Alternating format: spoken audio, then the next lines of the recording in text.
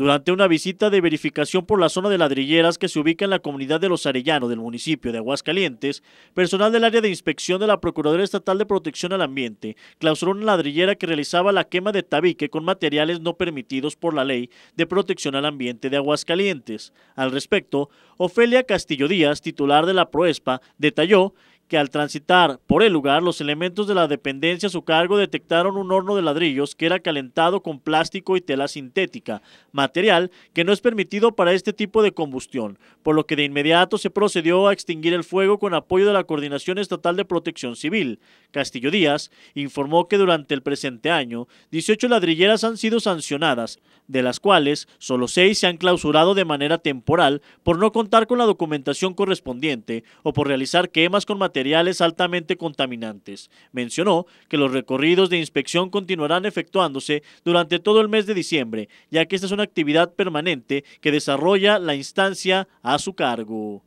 Con imágenes de Gerardo Santoyo para Informativo, Adrián Martínez.